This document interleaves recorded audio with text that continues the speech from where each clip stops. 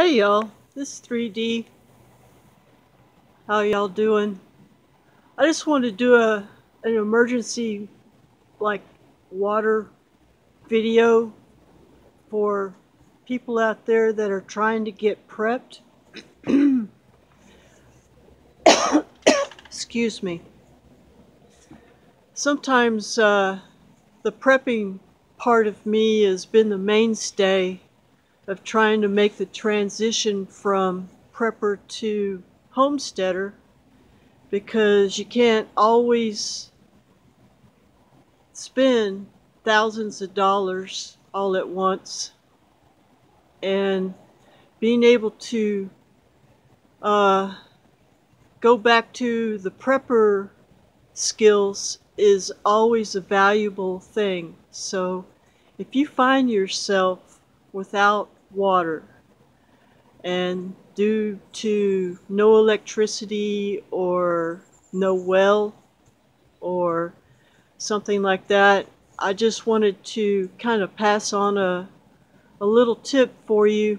Um, if you live somewhere where you're having to bring water in, bring water in from like a lake or a creek or standing water or rain catchment.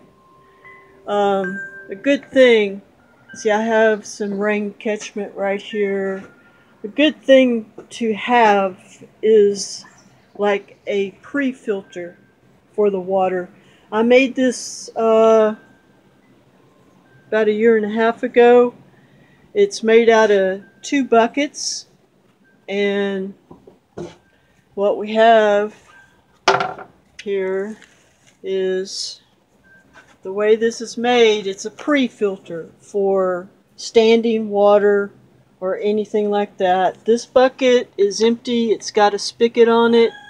This bucket right here has got probably a third of sand, a third of pebbles, and it's topped off with river rock on the top.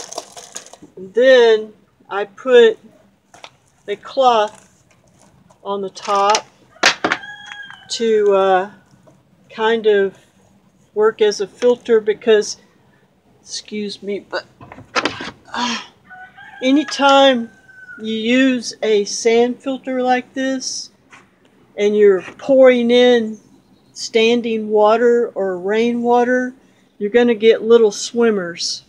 Um, it's inevitable.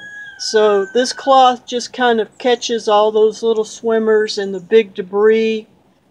The water goes through this pre-filter and let me let me grab a bucket of water here so that you can see what I'm talking about.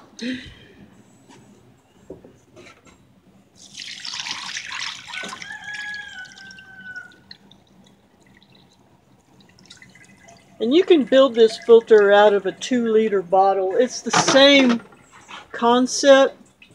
Like if, if you have a two liter bottle, and this water comes out pretty clear. And like I said, this is a pre-filter. I would not drink this, though they say you can. I would treat it either with water tabs but this takes the murkiness out of the water. Um, if you have to use like brackish water or water that's been standing somewhere for a long time, um, you can use one of these. You can build this filter yourself, and I would suggest doing it before SHTF because uh, it's going to be just a whole lot harder afterwards. But with this pre-filtered water, I take this water and I boil it for 10 minutes. And I let that water cool off. And then I put that water into my filter. Let me uh, walk around. That's, that's the life right there. Try not to disturb her. But this is my other water filter, which you can make you don't have to buy an expensive Berkey.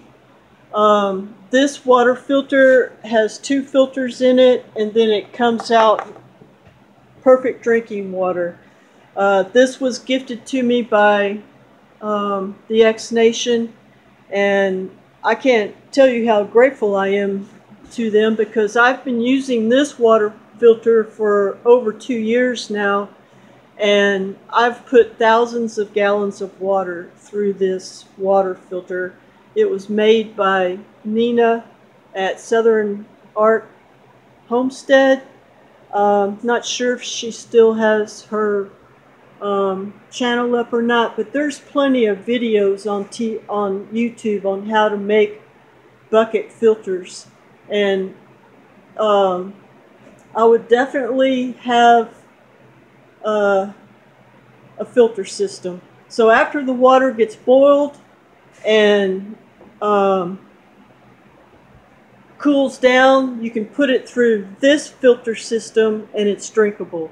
So I just wanted to do kind of like a update.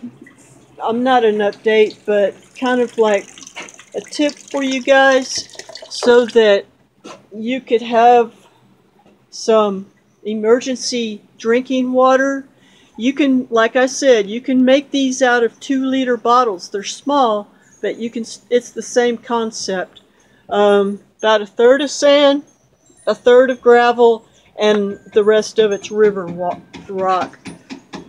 And uh, this is how you can process standing water to make it drinkable.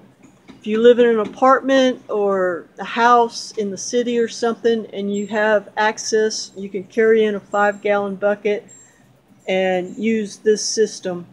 Um, so I just wanted to uh, send out a prepping tip for SHTF and I hope that everyone is doing well.